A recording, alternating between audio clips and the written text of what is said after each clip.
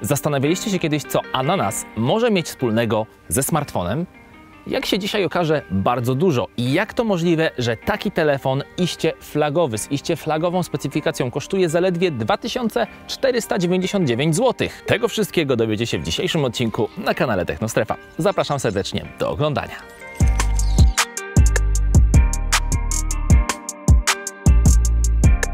To pachnie ananasem.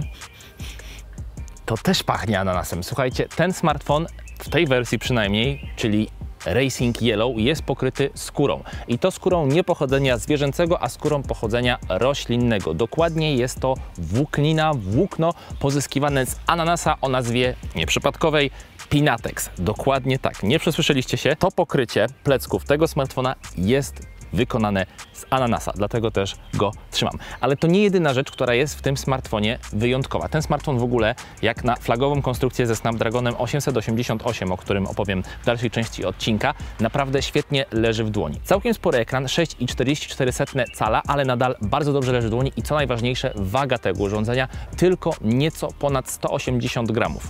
Ergonomiczny kształt, ta faktura plecki ze skóry nie zwierzęcej, a roślinnej. To wszystko sprawia, że ten telefon jest naprawdę ergonomiczny, leży dobrze w dłoni. No i dobra, no nie pachnie ananasem, ale możecie sobie wąchać ananasa, jak chcecie. A ja uciekam, bo komary gryzą.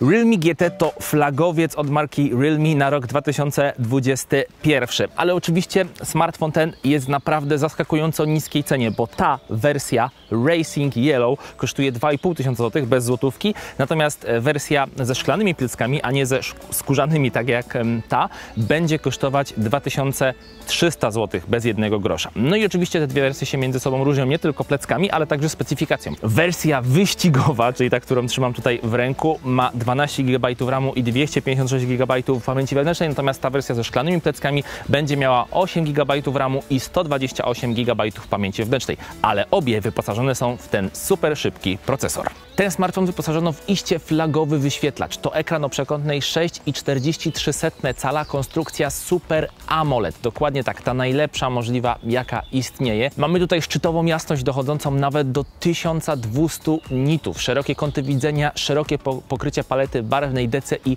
P3, stuprocentowe pokrycie tej palety barwnej, no i co najważniejsze, odświeżanie. 120 Hz super płynne odświeżanie ekranu. No i przede wszystkim mamy także 360 Hz odświeżanie panelu dotykowego, czyli krótko mówiąc jest to ekran stworzony do gamingu, ale także przede wszystkim do wygodnego, płynnego używania, przeglądania stron internetowych, oglądania filmu, czy po prostu jeżdżenia palcem po interfejsie bezkarnego i super płynnego.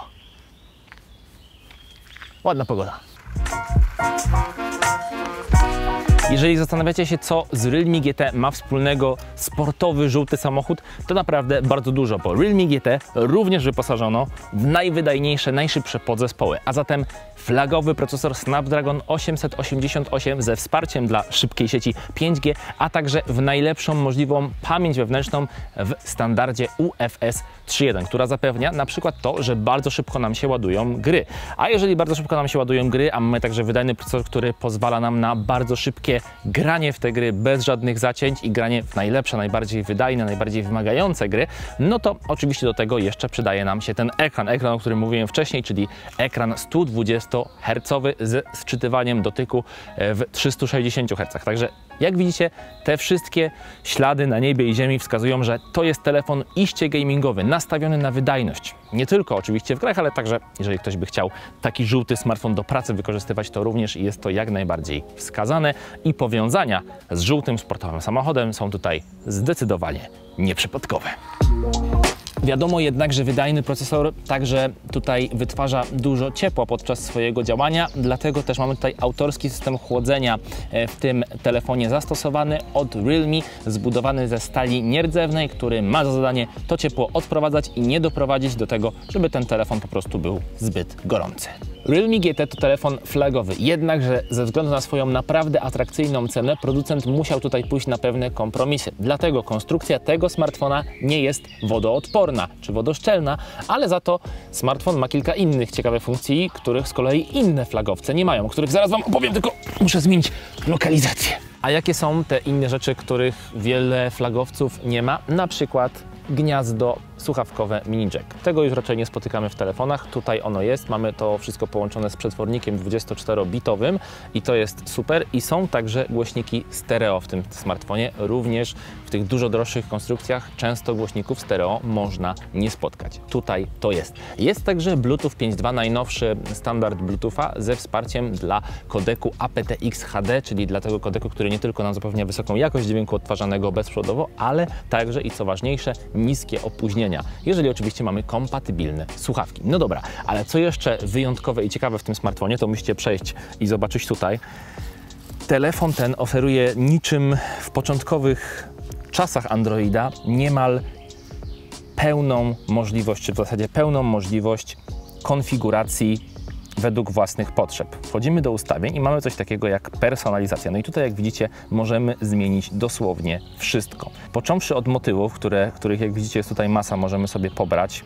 Mamy także style ikon, czyli możemy sobie zmienić, w jaki sposób wyświetlane są ikony. No czegoś takiego na większości smartfonów nie zrobicie. Możemy sobie zmienić, uwaga, coś, co mi się najbardziej spodobało, animację odblokowywania odciskiem palca. Zobaczcie wyłączamy i są różne możliwe animacje. No naprawdę mi się to bardzo, e, bardzo spodobało, chyba najbardziej e, w tym smartfonie, jeżeli chodzi o, to, o tę personalizację. Możemy sobie zmienić nawet krój czcionki, możemy sobie zmienić chociażby to, że będą nam się podświetlać krawędzie, e, jeżeli na przykład telefon będzie dzwonić, czy tam inne, taka ala dioda powiadomień, tylko w formie podświetlania krawędzi. Także możliwości personalizacji jest sporo, wszystko zamknięte w jednym aplecie. Smartfon pracuje pod kontrolą systemu Android 11 i nakładki Realme UI 2.0 która pozwala na te wszystkie personalizacje, o których opowiadałem przed chwilą, ale co jeszcze ważniejsze, ten telefon Realme GT będzie jednym z pierwszych urządzeń, na które zostanie wydana aktualizacja do najnowszego Androida 12. To również wielka zaleta.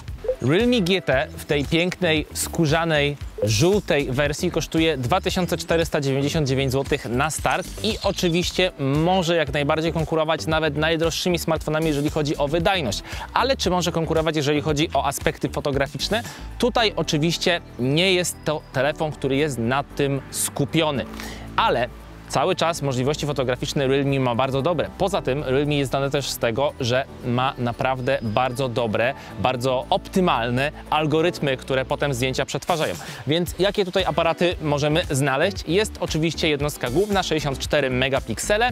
Mamy także aparat super szerokokątny 8 megapikseli, no i dodatkowy aparat niekoniecznie tutaj potrzebny, czyli tak zwany ultra makro 2 megapikselowy, ale to w zasadzie można go pominąć. Natomiast z przodu mamy w wycięciu e, w dziurce w ekranie mamy aparat selfie 16-megapikselowy, również całkiem ciekawa jednostka. A jakie zdjęcia robi Realme GT? O tym przekonacie się już teraz, ale nie będę na nich ja, bo dzisiaj nie za dobrze wyglądam, więc Aleksandra będzie na tych zdjęciach. Zobaczcie.